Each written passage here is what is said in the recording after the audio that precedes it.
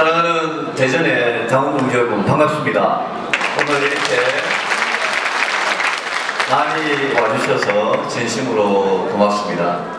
저희 바른미래당이 시작한 지가 이제 한 달 열흘이 지났습니다.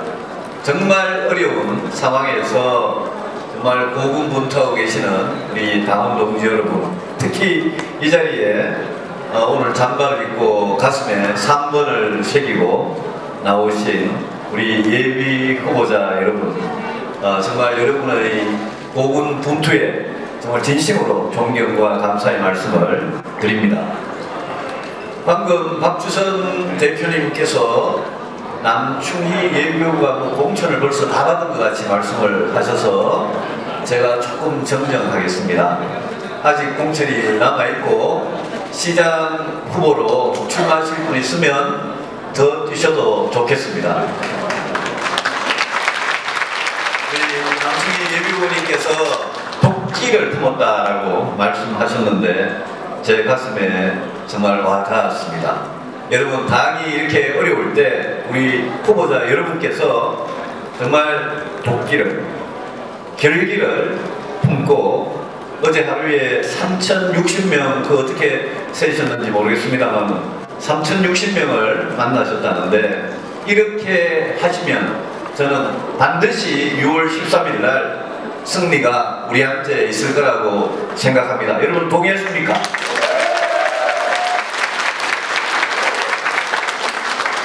오늘 정말 이 자리에 와서 우리 대전의 열기를 느끼니까 많은 게 생각이 납니다. 저희 바른미래당이 출발할 때 지역주의를 극복하자, 지역 감정을 악용하는 구태 정치와 확실하게 결별을 하겠다 이렇게 다짐을 했지 않습니까? 저는 이곳 대전이 정말 그 구태 정치, 지긋지긋한 지역 감정을 날려버리고 이번 6월 13일 날 가장 공정하게 선거를 치를 수 있는 지역이라고 생각을 합니다. 이곳에서 호남 지역주의, 영남 지역주의 다 떨쳐버리고 이곳 국도의 중심에서 충청, 대전에서 여러분들께서 열심히 뛰어서 정말 건전한 경쟁, 치열한 경쟁을 통해서 우리 바른미래당을 알려주시고 대전 시민 또 충남 도민들한테 정말 그분들을 위해서 봉사하는 정치 해 주시기를 바랍니다. 그렇게 하시면 저는 반드시 승리가 여러분에게 기다리고 있을 거라고 믿습니다. 여러분께서도 그렇게 확신을 가지고 뛰어주시기를 부탁을 드립니다.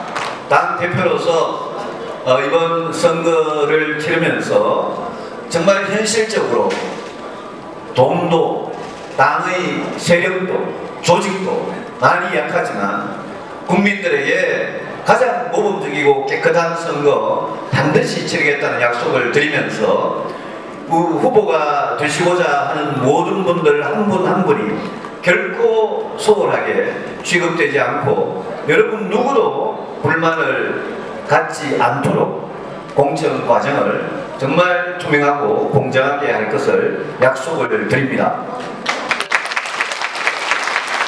이 당원 동지와 예비 후보자 여러분들께서도 꼭 절대 포기하지 말고 용기를 가지시고 희망을 가지시고 대전 시민들을 위해서 내가 무엇을 할 것이냐 생각을 하시고 여러분께서 깊이 고민하셔서 만든 공약을 저희들 중앙당에서도 공약으로 채택을 해서 우리 중앙당과 또 현장에서 뛰시는 우리 후보자 여러분들과 함께 6월 13일 날 기적을 한번 만들어 봅시다. 저는 우리 바른미래당이 생긴 지 한 달 열흘이 지났는데 이제 시작이라고 생각합니다. 처음부터 공짜가 없습니다.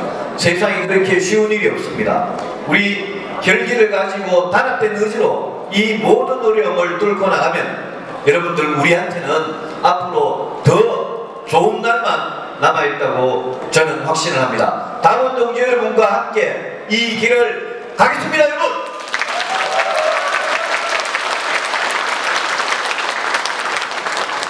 오늘 우리 안철수 인재영입 위원장께서도 함께 자리를 해 주셨습니다. 여러분 국민의당과 바른정당, 바른정당과 국민의당이 합쳐서 이제 한 지붕 안에 서로 몸을 섞어가면서 같이 살고 있습니다.